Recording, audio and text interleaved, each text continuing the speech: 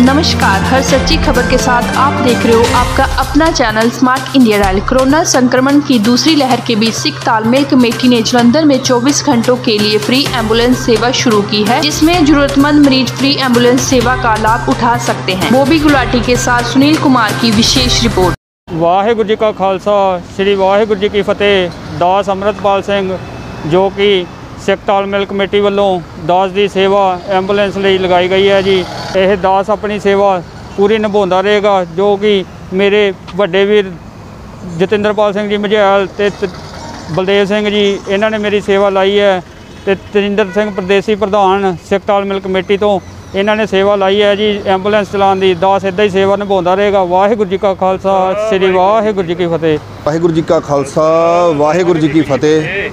ਮਹਾਰਾਜ ਧੰਨ ਗੁਰੂ ਨਾਨਕ ਸਾਹਿਬ, ਜੋ ਇਹ ਸਾਡੇ ਕੋਲ ਸੇਵਾ ਲੈ ਰਹੇ ਨੇ ਜੀ, ਲੋੜਵੰਦਾਂ ਦੀ, ਅਸੀਂ ਉਹ ਜਦੋਂ ਤੱਕ ਉਹਨਾਂ ਦੀ ਕਿਰਪਾ, ਇਹ ਅਸੀਂ ਸੇਵਾ ਕਰਾਂਗੇ। ਔਰ ਸਾਡੇ ਨਾਲ ਸਾਡੇ ਪ੍ਰਧਾਨ ਜੀ, ਸਰਦਾਰ ਤੇਜਿੰਦਰ ਸਿੰਘ ਜੀ, ਪ੍ਰਦੇਸੀ, ਬਲਦੇਵ ਸਿੰਘ ਜੀ, ਔਰ ਸਾਡੇ ਕਾਕੇ ਭਾਜੀ ਜਿਨ੍ਹਾਂ ਨੇ ਐਂਬੂਲੈਂਸ ਚਲਾਉਣ ਦੀ ਸੇਵਾ ਲਈ ਹੈ।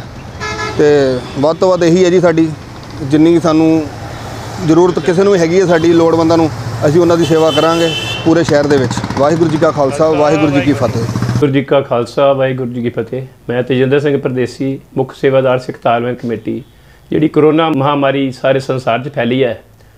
ਉਹਦੇ ਸਬੰਧ ਵਿੱਚ ਸਿੱਖ ਤਾਲਮੇਲ ਕਮੇਟੀ ਵੱਲੋਂ ਇੱਕ ਛੋਟਾ ਜਿਹਾ ਉਪਰਾਲਾ ਕੀਤਾ ਗਿਆ। ਹੈ ਸਾਡੇ ਛੋਟੇ ਵੀਰ ਜਤਿੰਦਰਪਾਲ ਸਿੰਘ ਮਝੈਲ, ਬਲਦੇਵ ਸਿੰਘ, ਇਹਨਾਂ ਨੇ ਇੱਕ ਸ- ਐਂਬ- ਕਿਹੜੀ ਐਂਬੂਲੈਂਸ ਪਾਈ ਹੈ ਜਿਹੜੀ ਕਿਸੇ ਕਰੋਨਾ ਮਰੀਜ਼ ਨੂੰ ਘਰੋਂ ਲਿਆ ਕੇ ਕਿਸੇ ਵੀ ਲੋੜ ਹੈ ਜਿਹੜਾ ਕੋਈ ਪੈਸਾ ਨਹੀਂ ਦੇ ਸਕਦਾ, ਉਹਦੇ ਲਈ ਅਸੀਂ ਸੇਵਾ ਕਰਾਂਗੇ। ਘਰ ਤੋਂ ਲਿਆ ਕੇ ਹਸਪਤਾਲ ਤੱਕ ਪਹੁੰਚਾਵਾਂਗੇ ਜੇ ਹਸਪਤਾਲ ਤੋਂ ਘਰ ਪਹੁੰਚਾਵਾਂਗੇ। ਹੋਰ ਵੀ ਕਿਸ ਤਰ੍ਹਾਂ ਦੀ ਲੋੜ ਹੋਏਗੀ ਸਾਡੇ ਮੈਂਬਰ ਦੀ ਸੇਵਾ ਕਰਨਗੇ ਜੀ।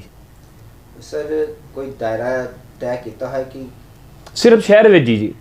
ਸਿਰਫ ਸ਼ਹਿਰ ਵਿੱਚ ਜਿਸ ਕਿਸੇ ਵੀਰ ਨੂੰ ਵੀ ਲੋੜ ਹੈ ਦੋ ਚਾਰ ਚਾਰ ਕਿਲੋ 5 ਕਿਲੋਮੀਟਰ 10 ਕਿਲੋਮੀਟਰ ਦੇ ਘੇਰੇ 'ਚ ਅਸੀਂ ਮੋਪੜ ਆਪਣਾ ਐਂਬ- ਐਂਬੂਲੈਂਸ ਭੇਜਾਂਗੇ ਜੀ।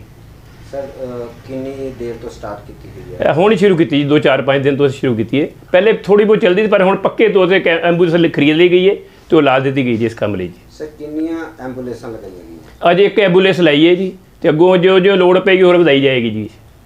ਕਿੰਨੇ ਡੇਲੀ ਕਿੰਨੇ ਪੇਸ਼ੈਂਟ ਨੂੰ ਆਪਾਂ ਹਸਪੀਟਲ ਪਹੁੰਚਾਈਏ? ਪੰਜ ਛੇ ਪੇਸ਼ੈਂਟ ਰੋਜ਼ ਦੇ ਜੀ ਅਸੀਂ ਅਟੈਂਡ ਕਰ ਲੈਂਦੇ ਜੀ। ਅਸੀਂ ਕੋਈ ਪੈਸਾ ਨਹੀਂ ਲਾਂਗੇ ਜੇ ਕੋਈ ਪੈਸਾ ਦੇ ਸਕਦਾ ਦੇ ਸਕ- ਦੇ ਦੇਵੇ। ਬਾਕੀ ਸਾਡੇ ਵੱਲੋਂ ਕਿਸੇ ਤਰ੍ਹਾਂ ਦੇ ਕੋਈ ਪੈਸੇ ਦੀ ਡਿਮਾਂਡ ਨਹੀਂ ਕੀਤੀ ਜਾਏਗੀ ਜੀ। ਲੋੜਵੰਦ ਨੂੰ ਫ੍ਰੀ ਦਿੱਤੀ ਜਾਏਗੀ ਜੀ।